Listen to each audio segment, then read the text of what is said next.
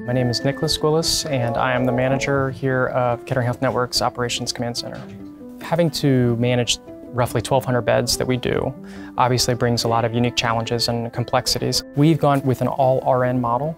um, so we have nurses doing bed placement and all nurses doing transfers, and we found those to be really critical because they speak the same language with the people that we're getting calls in, questions about. They know how to navigate information, they can read between the lines when they get limited information, um, and it's every single day that they are able to intervene and recognize that we might be missing something. We might be sending this patient to the wrong facility, the wrong floor, um, but with their clinical background really gives them the expertise to, to drive that change.